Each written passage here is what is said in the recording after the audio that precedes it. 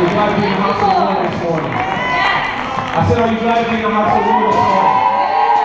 You know, the house of the Lord is a place of refuge, amen? It's a place where you can find comfort and rest in God. And I don't know about you guys, but we serve a mighty God. We serve a mighty God.